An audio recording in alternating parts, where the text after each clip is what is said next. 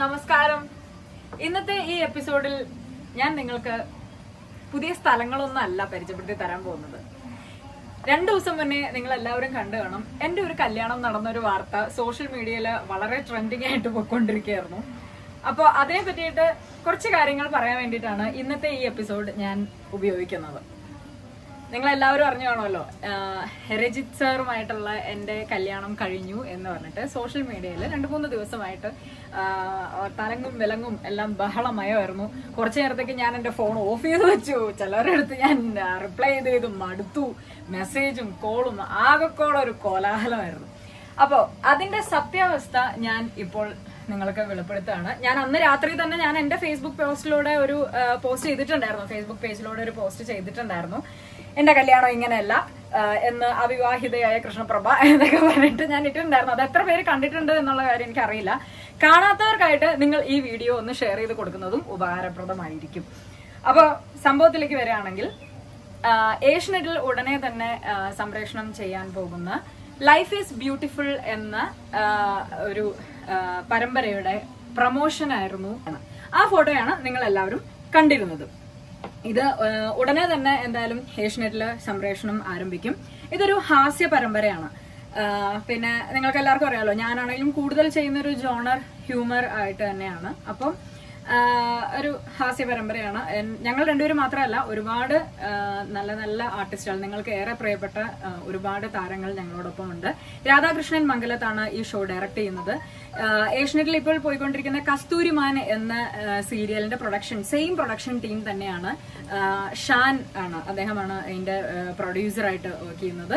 അപ്പം ഇതൊക്കെയാണ് സീരിയലിനെ പറ്റിയിട്ടുള്ള എന്താ പറയാ ഏറ്റവും അടുത്ത അപ്ഡേഷൻ ഏറ്റവും റീസെന്റ് ആയിട്ടുള്ള ചൂടുള്ള അപ്ഡേഷൻ ഇതൊക്കെയാണ്. അപ്പൊ നിങ്ങൾ എല്ലാവരും കാണാൻ മറക്കരുത്. ലൈഫ് ഈസ് ബ്യൂട്ടിഫുൾ സമയവും തീയതിയും എല്ലാം ഞാൻ അറിയിക്കുന്നതായിരിക്കും. വഴിയെ അറിയിക്കുന്നതായിരിക്കും. ഇനി രജിത് സാറിനെ പറ്റിയും ഞാൻ രണ്ടു വാക്ക് പറയേണ്ടതായിട്ടുണ്ട്. അല്ലെങ്കിൽ നിങ്ങൾ എല്ലാവരും വിചാരിക്കും എന്താണ് അദ്ദേഹത്തെ പറ്റി ഒന്നും പറയാത്തത് എന്നുള്ളത്. അദ്ദേഹം ഒരു നല്ല സൂപ്പർ കോ ആർട്ടിസ്റ്റ് ആണ് അദ്ദേഹം ആദ്യമായിട്ടാണ് ഇതേപോലെ ഒരു പരമ്പരയിൽ വരുന്നത്. അപ്പൊ അതിന്റെതായിട്ടുള്ള ടെൻഷനൊക്കെ അദ്ദേഹത്തിന് ഉണ്ട് എന്നതൊഴിച്ചാൽ വളരെ നല്ലൊരു ആർട്ടിസ്റ്റ് തന്നെയാണ്. പിന്നെ നല്ലൊരു ജെനുവിൻ ആയിട്ടുള്ള ഒരു ക്യാരക്ടർ ആയിട്ടുള്ള ഒരു ആളായിട്ടാണ് എനിക്ക് തോന്നിയത്. അപ്പം എന്തായാലും സാറിനും എന്നെ പോലെ തന്നെ എനിക്ക് ഇത്രയും കോൾ വന്നിരുന്നു എന്നുണ്ടെങ്കിൽ സാറിന്റെ എത്രത്തോളം ആരാധകർ സാറിനെ വിളിച്ചിരുന്നു എന്നുള്ള കാര്യം നിങ്ങൾക്ക് ഊഹിക്കാം എന്നുള്ളതേ ഉള്ളൂ. സാറിനെ ഞാൻ ഇന്ന് രാവിലെ കൊണ്ട് വിളിച്ചപ്പോൾ സാറ് പറയണ്ടായിരുന്നു യു എസിൽ നിന്നും പുറത്ത് യു എയിൽ നിന്നും ഒക്കെ. പിന്നെ സാറിന്റെ സ്റ്റുഡൻസ് ഉണ്ട് ഒരുപാട് പേര് അവരൊക്കെ ഞെട്ടിത്തെറിച്ചു പോയി. ഏഹ് എന്നൊക്കെ പറയാനുണ്ട് കാരണം ഇതാരോടും നമ്മളങ്ങനെ പറഞ്ഞിട്ടുണ്ടായിരുന്നില്ലല്ലോ. അപ്പം എന്തായാലും നല്ലൊരു ജെനുവിൻ ആയിട്ടുള്ള ഒരു ഹ്യൂമൻ ബീയിങ് ആണ് രജിത് സാറ്. കൂടുതൽ ഞങ്ങളുടെ അഭിനയങ്ങളെല്ലാം ഇനി വരും ദിവസങ്ങളിൽ നിങ്ങൾക്ക് കാണാൻ സാധിക്കും. ഈ ഒരു വാർത്ത വന്നിട്ട് ഒരുപാട് രസകരമായിട്ടുള്ള ഇൻസിഡൻസുകൾ ഉണ്ടായിട്ടുണ്ട്. ഒപ്പം തന്നെ ഭയങ്കര ഹാർട്ട് ടച്ചിങ് ആയിട്ടുള്ള കാര്യങ്ങളും ഉണ്ടായിട്ടുണ്ട്. അതിൽ രസകരമായിട്ടുള്ള കാര്യം എന്ന് പറയുന്നത് ഞാനിപ്പോൾ വയനാടാണുള്ളത് എന്റെ ഫാമിലിയുമായിട്ട് ഞാനിവിടെ വയനാട്ടിലാണ് വന്നിട്ടുള്ളത്. അപ്പം പലരും വിളിച്ചു ചോദിച്ചത് കല്യാണം കഴിഞ്ഞിട്ട് ഉടനെ ഹണിമൂണിന് പോയതാണോ? എന്നൊക്കെയാണ് പലർക്കും അറിയേണ്ടത്. കാരണം ഞാൻ ഫേസ്ബുക്കിൽ ഈ വാർത്ത വന്നപ്പോൾ തന്നെ ഞാൻ on the way to Wayanad എന്ന് പറഞ്ഞിട്ട് ഞാൻ എഫ് ബിയിൽ ഒരു പോസ്റ്റ് ഇട്ടിട്ടുണ്ടായിരുന്നു. അപ്പൊ പലരും വിചാരിച്ചത് കെട്ടുക ഓക്കെ ഹണിമൂണിന് വേണ്ടിയിട്ട് വയനാട് പോയി എന്നുള്ളതായിരുന്നു. അതൊരു നല്ലൊരു രസകരമായിട്ടുള്ള ഒരു കാര്യം തന്നെയായിരുന്നു. അവരോട് സമാധാനം പറഞ്ഞ് ഞാൻ മടുത്തു. ഇല്ല ഞാൻ എന്റെ ഫാമിലി എന്റെ അമ്മ ബ്രദറിന്റെ ഒക്കെ കൂട്ടത്തിൽ തന്നെയാണ് ഞാൻ വയനാട്ടിലേക്ക് വന്നത് എന്നൊക്കെ പറഞ്ഞു പറഞ്ഞ് ഞാൻ മടുത്തു. പിന്നെ ഞാൻ നേരത്തെ പറഞ്ഞ പോലെ വളരെ ഹാർട്ട് ടച്ചിങ് ആയിട്ടുള്ള ഒരുപാട് ഇൻസിഡൻസ് ഉണ്ടായി എന്നുള്ളത്. ഇത്തരത്തിലുള്ള ഇൻസിഡന്റുകൾ നടക്കുമ്പോഴാണ് നമ്മളിൽ നമ്മളോട് ആരൊക്കെയാണ് ഭയങ്കരമായിട്ട് ചേർന്ന് നിൽക്കുന്നവർ എന്നൊക്കെ മനസ്സിലാക്കാൻ പറ്റിയ കുറെ അവസരമായിരുന്നു ഇതെല്ലാം. അതിൽ ഒരുപാട് പേരുണ്ട്. അതിൽ ഏറ്റവും അധികം എന്നെ എന്താ പറയുക ഒരു സംസാരിച്ച് ഒരു ഒരു നിമിഷത്തേക്ക് ഞങ്ങളുടെ എല്ലാവരുടെയും കണ്ണു നിറഞ്ഞു പോയത് പിഷാരടിയുടെയും ഹരിപ്പി നായർ ഹരിചാണ്ടന്റെയും കോളിലാണ്. കാരണം പിഷാരടി വിളിച്ചപ്പോൾ തന്നെ ഇങ്ങനെ പറഞ്ഞ ഞങ്ങളൊക്കെ നിങ്ങൾക്ക് വേണ്ടപ്പെട്ടവരാണ് എന്നാണ് വിചാരിച്ചിരുന്നത്. പക്ഷെ ഒരു വാക്ക് ഞങ്ങളുടെ അടുത്ത് പറയാമായിരുന്നു.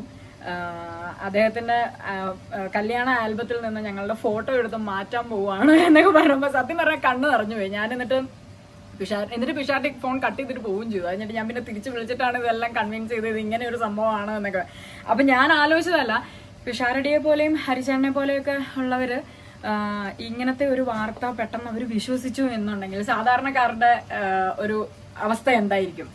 അപ്പോൾ അങ്ങനെ ഒരുപാട് പേര് എന്റെ ഫ്രണ്ട്സ് കുറേ പേര് ഫീൽഡിലുള്ള ഫ്രണ്ട്സ് അങ്ങനെ കുറേ പേര് അവർ സത്യമായിട്ട് ഇത് വിശ്വസിച്ചു എന്നുള്ളതാണ്. ഇവരെ എല്ലാവരെയും ഇത് ഇത്രത്തോളം വിശ്വസിപ്പിക്കാനുണ്ടായ ഒരു കാരണവും എന്റെ ഫാമിലി കഴിഞ്ഞാൽ എന്റെ വളരെ അടുത്ത സുഹൃത്തുക്കൾക്ക് ഇങ്ങനെ ഒരു വർക്ക് ഞാൻ ചെയ്യുന്നുണ്ട് എന്നുള്ള കാര്യം അറിയാമായിരുന്നു. എന്റെ ഫ്രണ്ട്സും കൂടി ഇത് എഫ് ബിയിലും ഇൻസ്റ്റയിലും ഒക്കെ ഷെയർ ചെയ്തിട്ട് എന്നെ ടാഗ് ചെയ്യണ്ടേ അപ്പോഴാണ് സത്യം പറഞ്ഞാൽ എല്ലാവർക്കും അയ്യോ ഏ ഇത് റിയൽ ആണോ? ഇതെന്താ സംഭവിച്ചത്? എന്നൊക്കെ പറഞ്ഞിട്ട് ഒരു സംശയം ഉണ്ടായി വിളിക്കാനുള്ള ഒന്നാമത്തെ കാരണം അതാണെന്നാണ് എനിക്ക് തോന്നുന്നത്. അപ്പം പിന്നെ എന്നെ അധികം ഏറ്റവും കൂടുതൽ ഹാർട്ട് ടച്ചിങ് ആയിട്ട് ഒരു സങ്കടം തോന്നിച്ച ഒരു കാര്യം ഞാൻ താമസിക്കുന്ന ഫ്ലാറ്റിന്റെ നെക്സ്റ്റ് ഡോറിലുള്ള അത് അവിടെ രാഘവൻ എന്ന് പറഞ്ഞിട്ട് അഞ്ചു വയസ്സ് പ്രായമുള്ള ഒരു ആൺകുട്ടിയുണ്ട്. എന്റെ മിക്ക വീഡിയോസിലും നിങ്ങൾ കണ്ടിട്ടുണ്ടാവും രാഘവനെ. അവർ ബോംബെ ആണ് ഹിന്ദിക്കാരാണ് നേവിക്കാരാണ് അവർ. അപ്പം ഇന്ന് രാവിലെ രാഘവന്റെ അമ്മയുടെ പേര് അർച്ചന എന്നാണ്. അർച്ചന എനിക്ക് ഒരു സ്ക്രീൻഷോട്ട് എടുത്തിട്ട് ആ, ഇങ്ങനെ മെസ്സേജ് ചെയ്തു? യു ഗുഡ് മാരീഡ് എന്ന് പറഞ്ഞിട്ട് ഒരു മെസ്സേജ് തന്നു അപ്പൊ ഞാൻ ഞാൻ മെസ്സേജ് ഇട്ടു. ഇല്ല ഇതിങ്ങനെ ഒരു പ്രൊമോഷൻ ആണ് എന്നുള്ളത്. അർച്ചന ഞാൻ പെട്ടെന്ന് ഫോൺ ചെയ്തപ്പോ അർച്ചന സത്യം പറഞ്ഞ ഫോണിലൂടെ കരയായിരുന്നു. കാരണം കല്യാണം കഴിഞ്ഞു. എന്നിട്ട് ഞങ്ങളുടെ അടുത്ത് പറഞ്ഞില്ലല്ലോ. കാരണം ഞങ്ങൾ ഒരു ഫാമിലി പോലെ കഴിയുന്നവരാണ്. രാഘവനാണെങ്കിലും എപ്പോഴും എന്റെ വീട്ടിൽ ഞാൻ എന്റെ വീഡിയോസിലെല്ലാം നിങ്ങളെ കാണിച്ചിട്ടുണ്ട്. ആ അഞ്ചു വയസ്സുള്ള ആ മോൻ അവന്റെ അമ്മയുടെ അടുത്ത് ചോദിച്ചു എന്ന് പറഞ്ഞു. കൃഷ്ണ ചേച്ചിയുടെ കല്യാണമായിട്ട് ഞങ്ങളെ എന്താ ഇൻവൈറ്റ് ചെയ്യാതിരുന്നേ? നമ്മളോട് എന്താ പറയാണ്ടിരുന്നേ മമ്മ എന്ന് ചോദിച്ചപ്പോ സത്യം പറഞ്ഞ ആ ഡയലോഗ് കേട്ടിട്ട് സങ്കടം വന്നു. കാരണം ഒരു അഞ്ചു വയസ്സുള്ള ഒരു പയ്യൻ അത് ചോദിക്കാൻ ഉള്ള ഒരു അവസരം ഉണ്ടായി എന്നുണ്ടെങ്കിൽ എനിക്ക് തോന്നുന്നു നമ്മളെപ്പോലുള്ള മുതിർന്നവരിൽ പലരും പല തിരക്കുകളും ഉണ്ടായിരിക്കും. പല കാര്യങ്ങളും നമ്മളുടെ അടുത്ത ആൾക്കാരുടെ അടുത്ത് പോലും പറയാൻ മടിക്കുന്ന ഒരു കാലമാണത്. അപ്പം അഞ്ചു വയസ്സ് മാത്രം പ്രായമുള്ള ആ കൊച്ച് ഇത് ഇത്രയും വളരെ ഒരു എന്താ പറയാ അവന് അത് അത്രത്തോളം വിഷമിച്ചിട്ടായിരിക്കും ചോദിച്ചിട്ടുണ്ടാവുക. കൃഷ്ണ ചേച്ചി എന്താ ഞങ്ങളുടെ അടുത്ത് പറയാതിരുന്നത്? നമ്മളെ എന്താ ക്ഷണിക്കാതിരുന്നത് എന്ന് പറഞ്ഞപ്പോ അർച്ചന തന്നെ എന്നോട് പറയണ്ടായിരുന്നു. ഞാൻ അവരുടെ ഒരു മുതിർന്ന ചേച്ചിയുടെ പോലെയാണ് പെരുമാറുള്ളത് എന്താ എന്നെ വിളിക്കാതിരുന്നത് എന്ന് പറഞ്ഞപ്പോ എനിക്ക് അതൊരു ഭയങ്കര ഹാർട്ട് ടച്ചിങ് ആയിട്ട് തോന്നി. ഇവരിത് ഏറ്റവും കൂടുതൽ വിശ്വസിക്കാനുള്ള കാരണം നമ്മൾ മലയാളികളാണ്. നമുക്ക് എല്ലാവർക്കും മലയാളം വായിക്കാൻ അറിയാം. പക്ഷെ അർച്ചനേനെയും ഈ രാഘവൻ അവരുടെ ഫാമിലിയെ സംബന്ധിച്ചിടത്തോളം അവർക്ക് മലയാളം വായിക്കാൻ അറിയില്ല. ഇവരെന്തോ ഫേസ്ബുക്കിൽ ഇങ്ങനെ ജസ്റ്റ് നോക്കിക്കൊണ്ടിരുന്നപ്പോഴാണ് ഏ ഇത് കൃഷ്ണയല്ലേ ഇത്? എന്ന് പറഞ്ഞിട്ട് കല്യാണം കഴിഞ്ഞ് മാലയൊക്കെ ഇട്ട് നിൽക്കുന്ന ഫോട്ടോ കണ്ടപ്പോൾ അതിനുള്ള മാറ്റർ ഇവർക്ക് വായിക്കാൻ അറിയില്ല. കാരണം മലയാളം ഇവർക്ക് അറിയില്ല വായിക്കാൻ.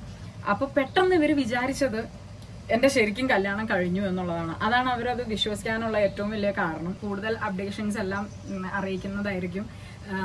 പലരും ഇതിപ്പോഴും ഒരു ഫേക്ക് ആണെന്ന് തന്നെ എന്തായാലും വിശ്വസിക്കുന്നുണ്ട് ചിലവർ ഈ കാര്യം ഫേക്ക് അല്ല എന്ന് വിശ്വസിക്കുന്നവരും ഉണ്ട്. അപ്പോൾ മാക്സിമം ഇത് പറഞ്ഞ് ഒക്കെ ശരിയാക്കുക. നമുക്കിനി ഇതിന്റെ ടെലികാസ്റ്റിങ്ങിനോടനുബന്ധിച്ചുള്ള വീഡിയോസും ടൈമിങ് ഇതെല്ലാം ഞാൻ അറിയിക്കുന്നതായിരിക്കും. അനുഗ്രഹം ഉണ്ടാവണം ഞങ്ങളുടെ ഈ ഒരു പുതിയ വെഞ്ചറിന് എന്തായാലും താങ്ക് സോ മച്ച്